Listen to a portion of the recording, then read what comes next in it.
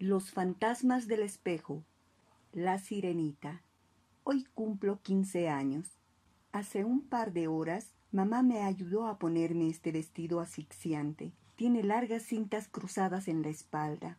Precisó jalar con mucha fuerza para cerrarlo. Lo logró. No pude creerlo cuando me miré al espejo. Tenía una cintura diminuta. Mamá me felicitó y yo sentí una mezcla de alegría y odio. Desde pequeña fui una niña llenita, pero ¿qué bebé rolliza? ¿No es hermosa? Nunca adelgacé y al llegar a la pubertad mi madre me criticaba por estar un poco ancha. A mí no me importaba, sin embargo cuando se acercó la fecha de mis quince años me convenció de que este día yo debía ser la más hermosa y delgada de la fiesta. Me compró un vestido de talla menor a la mía y lo colgó en el pasillo para motivarme a adelgazar. Ahora estoy aquí, sentada en medio del salón, respirando despacio y tratando de relajarme para disminuir mi consumo de oxígeno. No puedo entrar en pánico.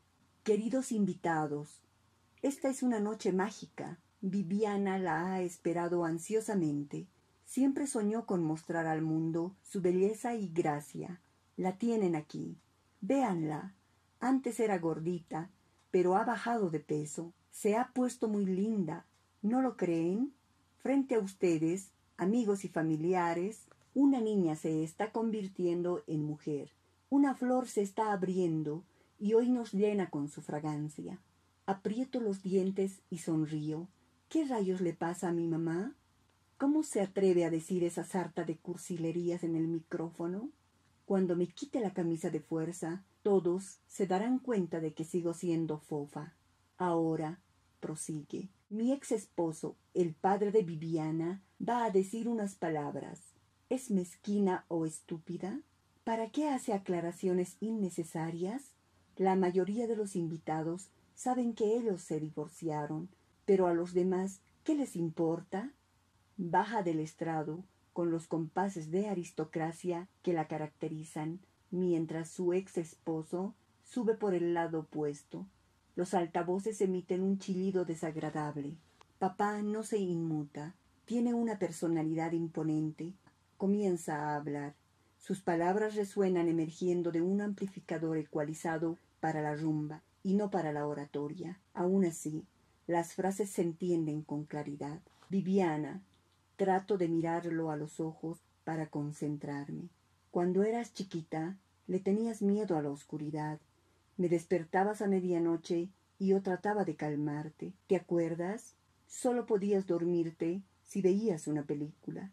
Siempre pedías la misma. Con el paso del tiempo, en tus crisis nocturnas, ya ni siquiera te preguntaba. Encendía las luces, íbamos al cuarto de televisión y te ponía la sirenita. Sabías los diálogos de memoria. Entonces dejé de decirte Viviana y te convertiste en mi sirenita. Hoy, sirenita, linda, quiero decirte que siempre te tengo en mi memoria y en mis oraciones. Frente a toda esta gente te digo que te quiero. Ahora ya no vivo contigo. He aprendido a valorar lo que significabas para mí. Agachó la cabeza. Pasa por mi mente la idea de correr hacia él, pero ¿qué dirán los invitados?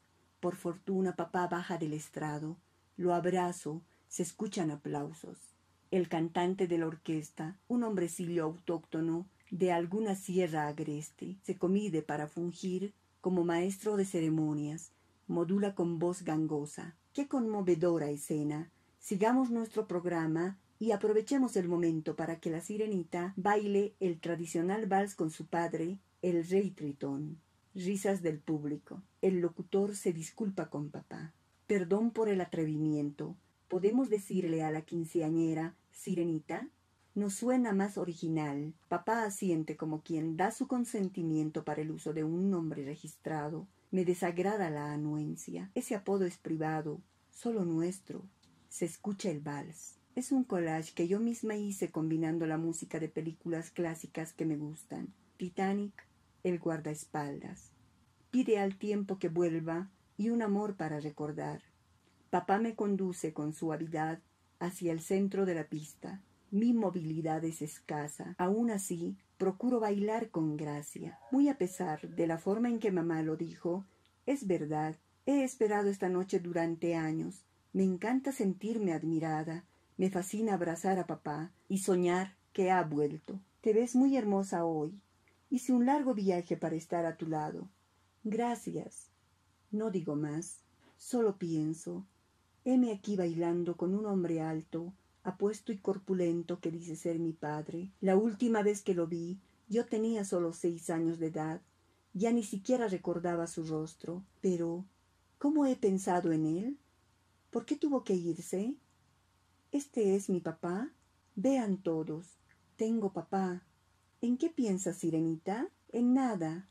El maestro de ceremonias emprende la lectura de nombres para que los invitados más cercanos bailen conmigo. Solicitamos la presencia del señor Rufino Pérez. Papá, cede su puesto a mi tío abuelo. Comienza el desfile de ancianos expertos en danzón y cha-cha-cha. Son anticuados, pero elegantes y buenos bailarines de vals. Después pasan mis primos, tiesos, arrítmicos y punquetos, vestidos con corbatas mal anudadas y trajes zancones que solo usan en los velorios. Aparece Aurelio, el esposo actual de mi madre. ¿Pretende bailar conmigo? Yo no lo puse en la lista. Nadie lo requirió. Viene por su propia cuenta. Me toma de la cintura y comienza a oscilar como campana en el mismo sitio. No mueve los pies, las manos le sudan. ¿Por qué estás tensa, hija? No me digas, hija. Ya conociste a mi verdadero padre. Giró la cabeza para mirar hacia otro lado. Ahora, queridos amigos, dice el aborigen del micrófono, los invitados a tomar sus asientos para presenciar dos bailes modernos preparados por la sirenita. Suelto a mi padrastro y camino hacia los sanitarios. Mamá va detrás de mí. En el trayecto me topo con Magalí, la chica más popular de la secundaria, viene peinada con un chongo ridículo. Qué bien te ves, sirenita. Luces espectacular. No te burles. Estoy hablando en serio. ¿Te pusiste a dieta? Cuéntame. Luego. Paso de largo. Entro al baño. Mamá me sigue. Desata las agujetas de mi vestido y siento como mi tórax se ensancha. Al fin puedo respirar. ¿Qué van a decir los invitados ahora que descubran mis lonjas? No te preocupes, tu vestido moderno también las disimula. ¿Tienes un chocolate? Me estoy muriendo de hambre. Ni se te ocurra. Durante dos semanas he llevado un régimen de emergencia. Mamá dice que funciona de maravilla. Cuando se iba a casar con mi padre, tenía miedo de verse gorda en la ceremonia, así que siguió esa dieta y bajó dos tallas. También la usa cada año, antes de las vacaciones de verano para poder lucir bikinis. Dice que cargamos el sobrepeso en los genes. Es nuestra maldición. Mis tías y abuelas son gordas. Mamá no. Yo tampoco. Por lo menos no hoy. Me pongo el atuendo para el baile moderno, aunque también ha sido confeccionado de forma estrecha. Al menos no tiene cintas en la espalda. Salgo a la pista. Mis chambelanes están listos. El nerviosismo nos traiciona. Perdemos el ritmo y nos equivocamos varias veces. Al final, de todos modos, la gente aplaude. Corro al baño a cambiarme otra vez. Estoy extenuada. El corazón me late en las sienes. Ahora usaré una muda de mezclilla. Me deshago del vestido y alcanzo los pantalones. Trato de ponérmelos. Se me atoran en la cadera. Hago un esfuerzo para subirlos. No lo logro. Tranquilízate. Tal vez si te sientas. Obedezco. Comienzo debatiéndome sobre la banca y termino acostada. Me contoneo, pujo, grito, un calambre en la pierna derecha. Mamá se desespera. No más comida grasosa, hija. Mira qué vergüenza. Estoy débil.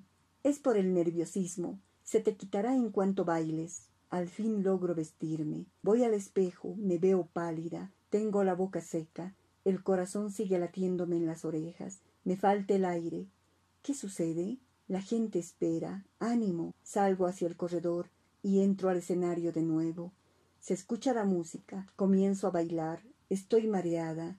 Rodoblo el esfuerzo, pero mi sonrisa se congela al momento en que escucho el golpe de mi cráneo chocando contra el piso.